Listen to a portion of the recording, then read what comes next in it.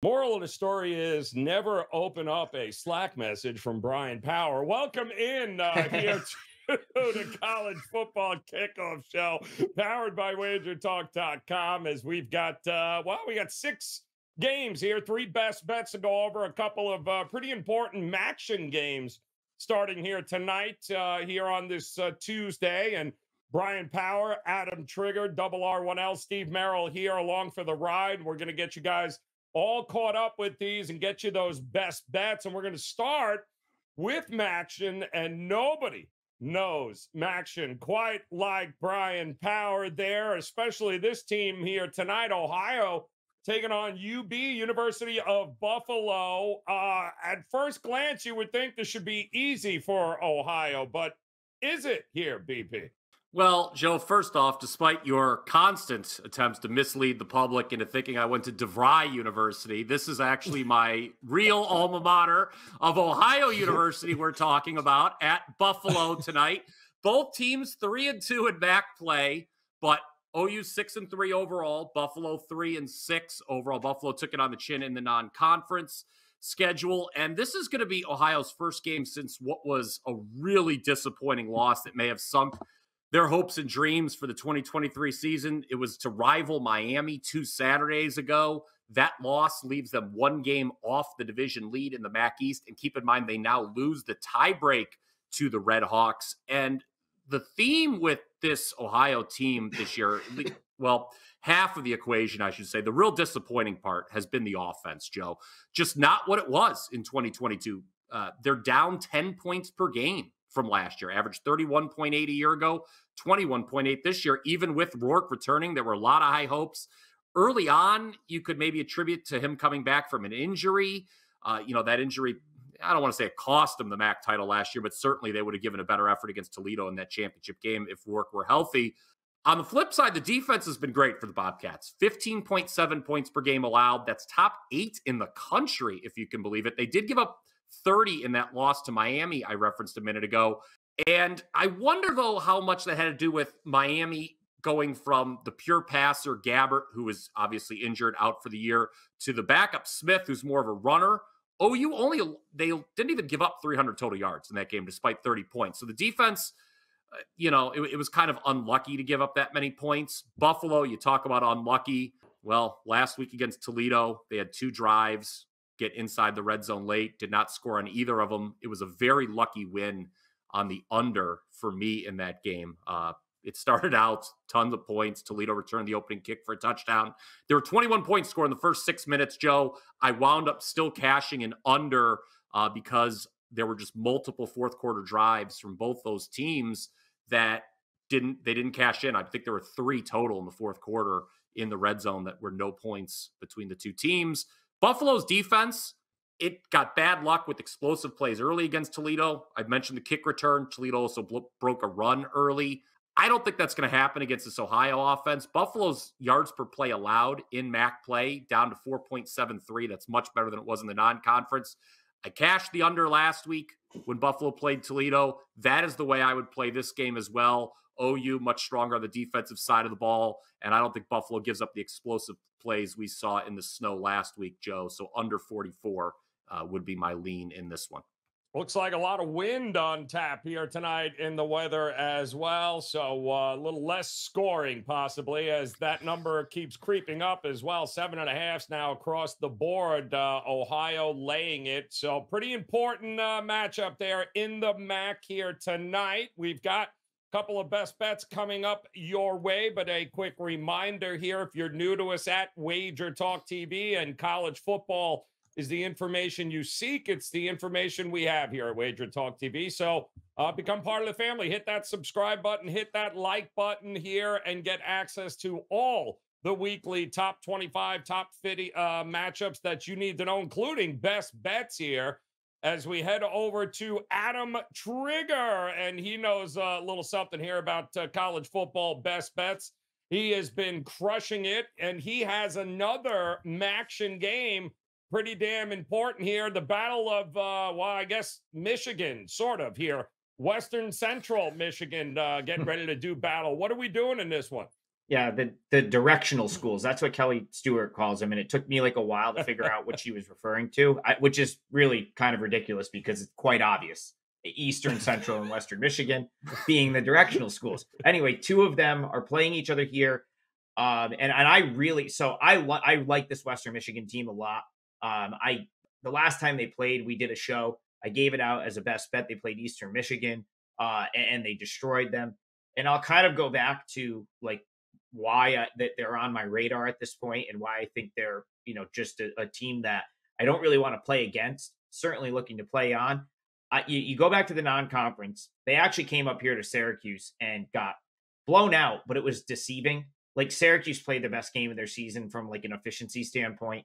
Just did everything right in the first half, and and you know I didn't think Western Michigan even played all that bad, but the score line would suggest that they did, losing forty-eight to seven. The next week they play Iowa great first half, and and the Hawkeyes, which were still much healthier at the time, pull away in the second half. I mean, if, if you go down the the schedule, and there's a theme for Western Michigan. It's tough team that Western Michigan, you know, held their own against. The Toledo game, they had a lead at half. Um, the Mississippi State game, if you look at the stats, it's it's almost dead even. Um, you know, the, the final ends up being 41-28 Mississippi State, but that was a very even game uh, on the stat sheet. They blow out Ball State. They were competitive with a very good Ohio team. Um, hung around with my, you know, Miami of Ohio is the one that kind of like lost that that doesn't look great, but that's a really good Red Hawks team and a really good Red Hawks defense. And then of course the most recent game where they they just trash Eastern Michigan uh, was never really in doubt. Central Michigan here, I think, offers a little bit more resistance than Eastern. I, th- I felt like the the Chippewas turned the corner a little bit last week. That was a really good performance against Northern Illinois, and and so I think the only reason Joe that this didn't like make my card was uh, it, just a you know a little bit reluctant to bet against Central Michigan at this point. They're a team that I, I thought might be slightly better than the market suggested coming into the year, and I, I really feel like last week's you know kind of the, the way they played, coming out and winning as a as a dog and in what what I would consider more dominant fashion than that final score indicates. Um, 37-31 against Northern Illinois pretty much led the whole game. Um, it is enough of a reason for me not to want to go out and lay points with them in a, a rivalry type game. But the way I lean here is Western Michigan for the very simple reason I just think they're the better team on on both sides of the ball.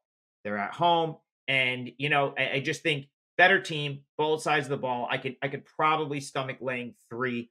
Uh, it didn't make my client card. If it if it was pick, I, I may have I may have jumped in with it.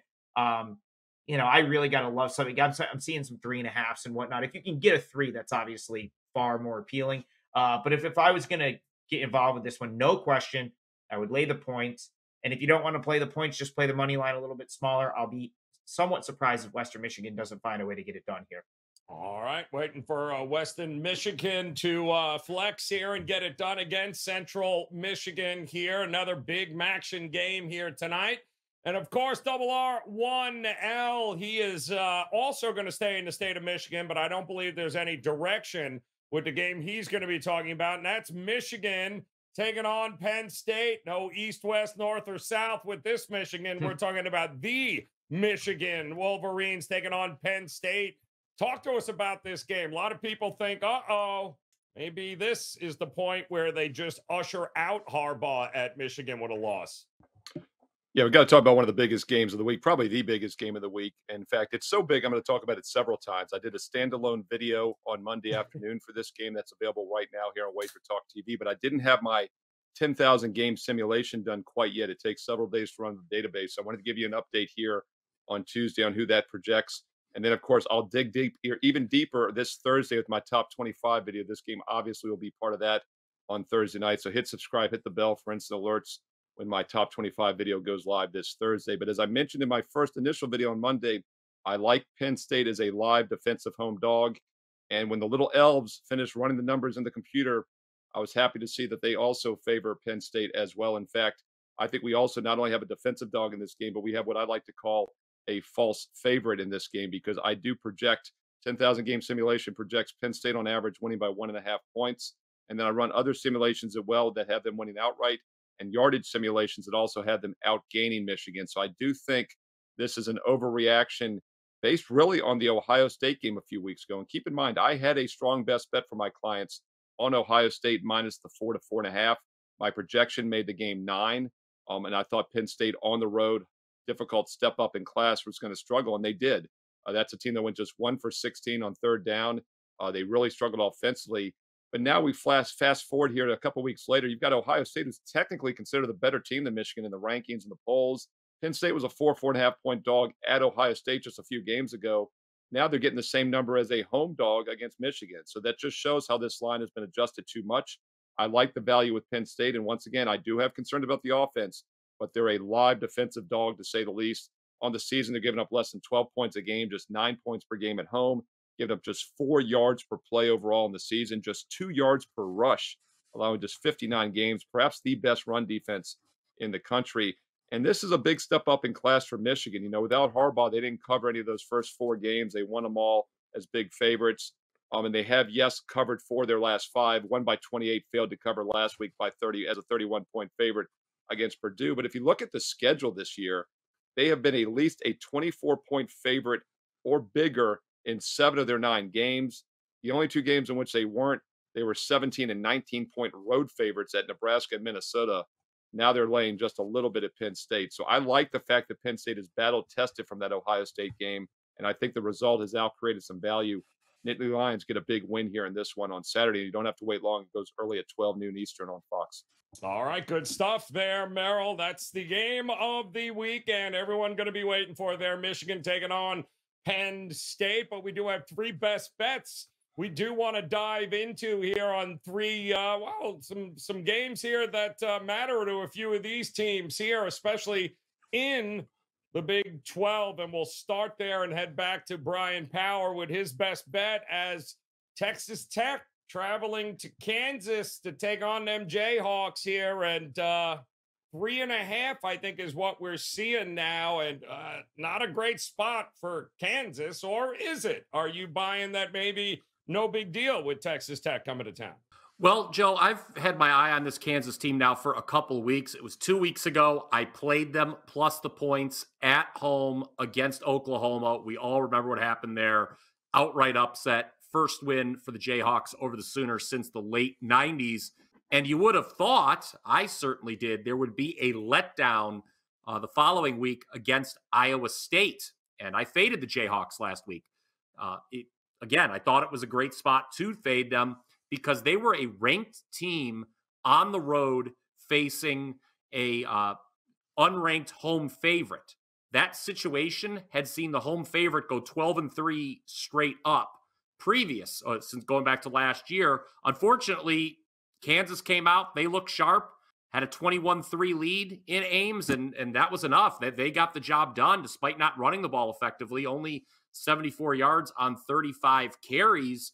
So maybe the letdown spot now comes a week later. Uh, Kansas hosting Texas Tech, and they're laying points just over field goal, as you mentioned. Interestingly enough, Kansas has been favored only one time over the last five games, and they suffered an outright loss to Oklahoma State. So, uh, you know, the role of favoritism now. Let's see how that works. Uh, may, you know, it's something that the Jayhawks are unaccustomed to. And even though Texas Tech is four and five, I've got these teams power rated pretty similarly, to be honest. Home field, not what it used to be.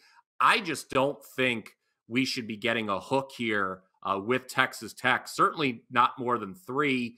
So there's value on the underdog. Uh, and the Red Raiders, you take a look at them, they've closed as a dog just once all season. And that was week two against Oregon, who is now playing as well as any team in the country. And let's not forget, Texas Tech led Oregon by double digits going into the fourth quarter. It was highway robbery that they didn't at least cover the game. We had one of those disgusting pick sixes in the final minute that you know cost me and I know cost uh, a lot of people uh, who had Texas Tech that day. But this, you talked about this game being important to some, Joe. The Red Raiders need win two wins in the last three games to get bowl eligible. After this, they are home versus UCF and then they close the regular season at Texas. They're probably not going into Austin and winning, considering the Texas is probably looking to clinch a spot in the Big 12 championship that week. So they need to win this game for bowl eligibility. And just one last point I'll make with the exception of the BYU game where they were minus five in turnovers. Certainly, you can't win when you do that. Texas Tech has had the lead or been within three in the second half of every other loss. So, like I said, this is a team that's better than its record. Kansas has Kansas State on deck. They're already bowl eligible. Maybe they've got an eye on next week. Think it's the peak of the market on Kansas. Give me the three and a half with the Red Raiders. All right, taking the uh, three and a half with Texas Tech. You want to be careful not to get Lemoyne there. Uh, let's head over now to uh, let's see if we can't get uh, Mr. uh, Adam Trigger ready to go here with his best bet. Might be a little bit uh, of urgency, I'm thinking, in this one here, uh, Trig. So tell us uh, which one of these teams coming up quickly do you like here? Yeah, so I think Brian and I are probably rooting for the same thing here. Um, you know, he talked about this one earlier from a totals perspective. I like Buffalo with the points. It's seven and a half now, man. That is awfully enticing. This uh interesting how this got bet kind of bet down and then quickly bet up with Ohio going to six and a half and then to seven. But now I think it's kind of steamed to seven and a half. And so, like, without a doubt, in my opinion, the value is on Buffalo. And I, I think it's a, an okay spot for them. Um, you know, they I really feel like they were unlucky to cover last week. Um, they the stati- the statistics, especially after Toledo's kick return, uh, were very even, and they really left a lot of points out um, on the field in in just like spots where you usually either kick a field goal or convert. Uh, Buffalo one for six on fourth downs, and a couple of those were fourth and goal. Like probably should have had more points than they did. Um, but the reason I like them here is I just think their defense is very active. Um, you know, they're up against an Ohio team that Brian already outlined playing great defense. Uh, but where I think the potential scores come from for Buffalo is sudden change type plays, short fields. Uh, Buffalo was able to force four turnovers against Toledo to stay in the game, and their defense has been better, partially because they're forcing more turnovers. Uh, the other thing Buffalo done has done better of late is run the ball and and they're just playing much better, in my opinion, than the team that you saw the first month of the season do things like lose to Fordham, uh, you know, and and really struggle out of the gate. Historically, they do well as a dog at home in this spot. You know, actually, this season they're only one in three at home, but their one win was as an underdog to Central Michigan. Uh, the three home losses, they were favored in all of those. So maybe the maybe the flip to the underdog role you know, in in the prime time spot is a good thing for them. I just think that this is a is a, a closer game. You know, you've got a, a low total in the low 40s. It feels like points are probably at a premium here, but Buffalo does enough that I think they can hang around. Um, again, really think they probably deserve to cover last week. It cost me a big bet. Uh, I think they probably get the money here. It did not make my client card, but I'm awfully close with it. Uh, I'll call for the potential upset and if not, I hope it stays within the number if you decide to bet it. Uh, give me the Bulls plus seven and a half. It looks like most places now. Yep. I was going to say the hook is available now. So uh, if you want to get above that touchdown, go ahead and grab it here uh, now as we have one more best bet uh, available for you guys here with Mr. Double R 1L Steve Merrill. Do want to let you guys know once again if you're joining us uh, for the first time, become part of that Wager Talk TV family. Get access to all of the college football content you need by simply hitting the subscribe button and hit that like button. We certainly do appreciate it because Steve Merrill responsible for a whole lot of that college football content that you will find here on our YouTube page. And uh, Merrill, what is the best bet game you're focusing in on this week? Well, it's Tuesday, but I'm going to look ahead to a game on Saturday. And by the way, I forgot to do this earlier. It's Tuesday. It's election day vote. We bring out the big flag on election day, oh. but this oh. Saturday is also Veterans Day. Another reason to bring out the flag. So a lot of pride this week in America. So vote early and often on Tuesday, and then salute a veteran on Saturday. This is an interesting game here. You know, I talked about Penn State, Michigan earlier in the show. And I mentioned how Penn State, I actually didn't mention Penn State had a big win last week, 51 15. I thought that was a nice bounce back after kind of a non covering win after the Ohio State game. They had that non covering a uh, win at home, but they looked good last week. And I also think it's a bad sign for Maryland, who's now lost four straight, both straight up and against the spread. Now, granted, they've had a 9 1 turnover deficit in those last four games. That can make you look a lot worse, but the defense is really wearing down. This is a team, their three wins prior had given up 17 points or less in three straight games. They've now given up 27 or more, including 33 or more in three of their last four, 27 or more in all four straight of those losses. And yes, they're taking a step down in class here against Nebraska's struggling offense, but I think Nebraska will have some success in this game against a worn out Maryland D, especially after allowing 51 last week and now having to travel. Database simulation 10,000 games run through the database has Nebraska winning on average by nearly three points. That catches my attention because Nebraska is currently a two and a half point dog. So I do think this is another false favorite. The wrong team is favored in this game. Other simulations I run have Nebraska winning outright and also winning the yardage battle. Um, so this is a live dog. I think it's a good spot to fade Maryland once again. I wanted to give it out to you early in the week here on the show, though, because it is sitting at two and a half. I'd wait, try to get plus three. It opened one, it's up to two and a half already. You know, the risk reward is worth waiting until Saturday to try to get a plus three or higher. But either way, I like Nebraska to win this game outright. And I do think there's some value with the Cornhuskers. That game goes early Saturday at 12 noon Eastern on the Peacock Network. Who knew? So you can check that one out. But I think we might get a plus three if you're patient and wait later this week. Hey, get my official best bets for this week at wagertalk.com, Steve Merrill, wagertalk.com, and follow me on Twitter at Steve Merrill. You know the deal. Two R's, one L at Twitter, Steve Merrill. And we will have some strong best bets each and every day in basketball as well.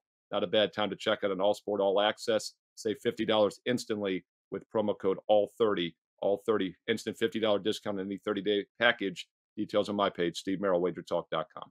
Wow, looks like you got Lemoyne. That's what happened right there, Merrill, with that Nebraska. It'll heal. Go. It'll Very heal. Very nice. Yeah. Uh, it will. It will. The Dolphins show up when Hug you a least dolphin. expect it.